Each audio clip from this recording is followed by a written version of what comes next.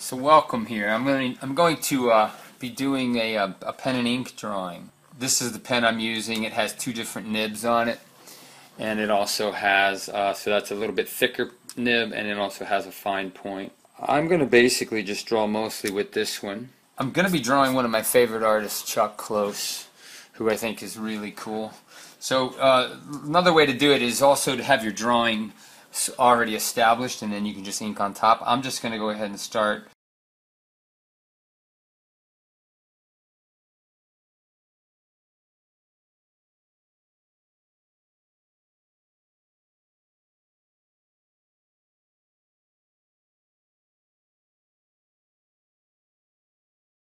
And then we can come in and with the big black honker, sort of black darken all this in.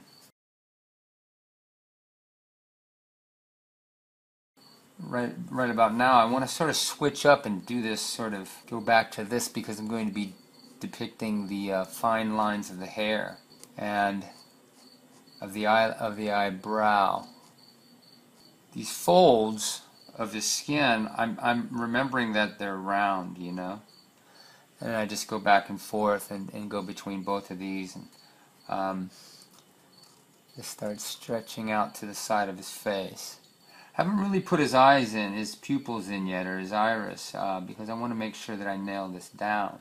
Sometimes you can also use some uh, dots um, and you can get in here and sort of as this fades into the shadow mass just give yourself some nice little lines here this is all a big a big shadow mass and I think I want to conserve this this ink because it looks like I might be losing some of it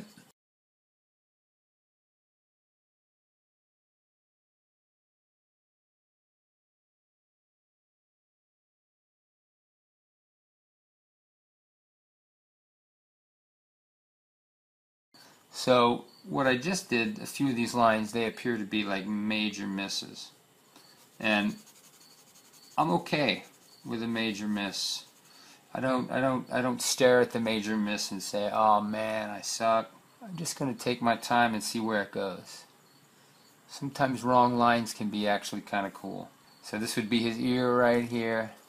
It still might not look like much, but I'm going somewhere. This is a journey.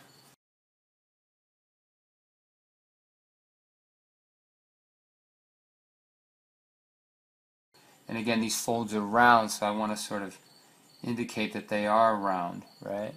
I think sometimes in art we tend to do a line and get so freaked out about it because we think we messed up. And sometimes it's it's good to mess up. So I want to move over and get this other side drawn in here real quick.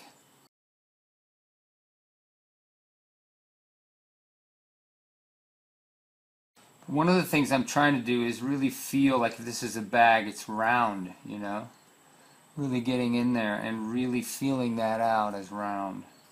Squint your eyes, take a quick look, make sure you're you're really nailing this down. And some of this can even be just sort of shattered out as well. Um, lines are indicating tone.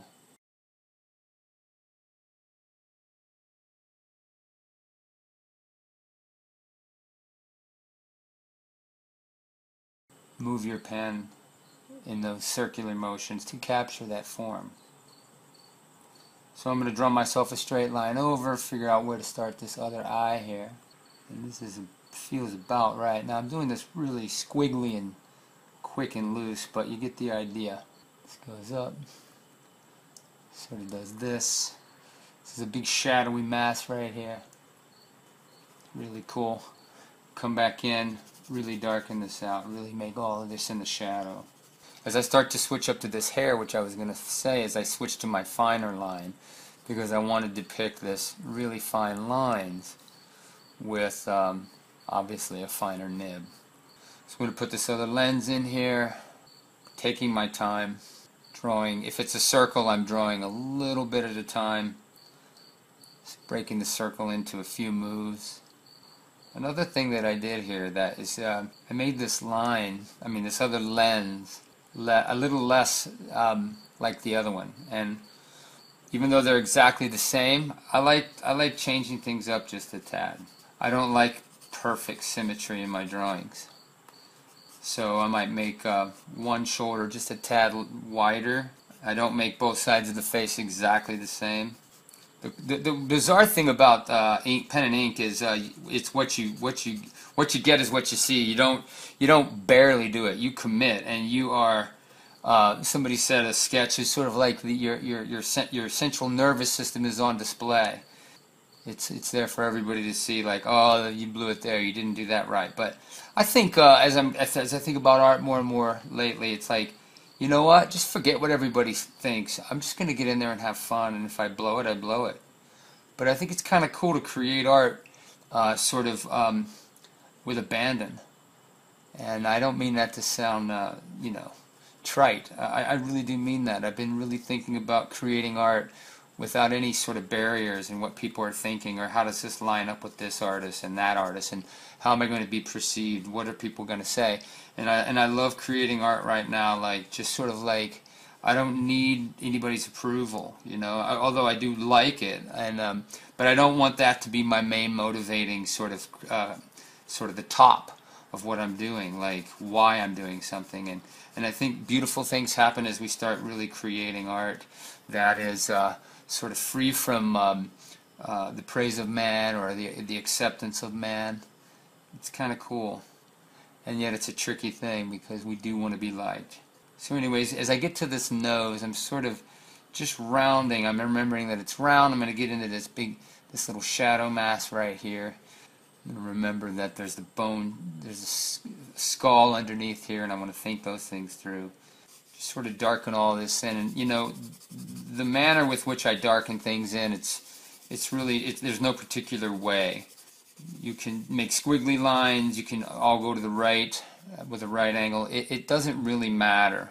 It's really your own preference. He's got a lot of hair right here. He's got a big mustache. I'm going to come down and I'm going to uh, really get in here and really define this out. It's feeling pretty cool. I like it.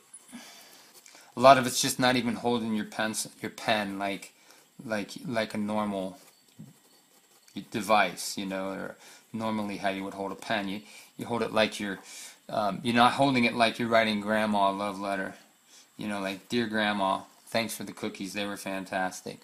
Um, you're holding it really in an odd way, and it sort of creates a lot of magic and a lot of cool things that can happen. Whatever object I'm drawing, I'm always thinking about what it actually is. So it, what does it feel like? It's hair, you know. It, it, um, it's fine. It, I'm not thinking about it's fine lines. I'm not thinking about anything other than well, what is this hair? What is it? You know. In other words, pay attention to what you're what you're drawing. But again, think about like this cheek. It's round, you know.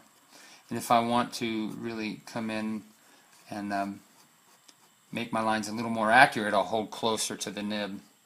But by and large, this feels pretty good. Um, I'm going to just um, sort of maybe indicate a few more things here. His head is round. He's got a lot of age spots on his head. Every great artist begins with the fundamentals. In his course, Drawing Fundamentals with Thomas Fluharty, award-winning illustrator Thomas Fluharty will coach you through the foundational skills that he employs to draw. You'll learn how to see your subject, effectively use tones, perspective, and composition, and much more. So whether you're a young artist just beginning your artistic journey or an older artist who has never been formally trained in fundamentals, in sharing with you his vast knowledge, Thomas will help make drawings simple. Check out and bookmark his course on schoolism.com. Now, back to the video. You can see on the eye, I'm really holding fairly close to the nib because I really want this to be pretty accurate.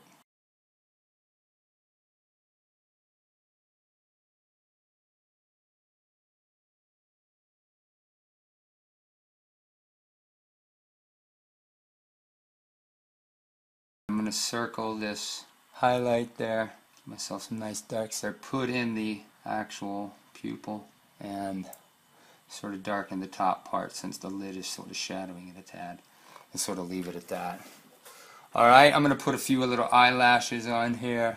Uh, he's got maybe a tad over here, let me see here. And I might just sort of break this out, pull this out a little bit more.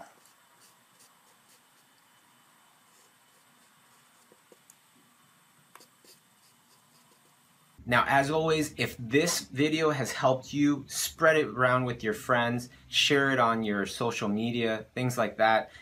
Alright everyone, so if you like the video, you want to learn more, you want to improve as an artist, highly recommend clicking over to Schoolism, signing up for the newsletter because in this newsletter, you will always get free videos and tutorials and news about Schoolism so you can keep up to date with what's going on in the world. Click over now and I'll see you guys next time.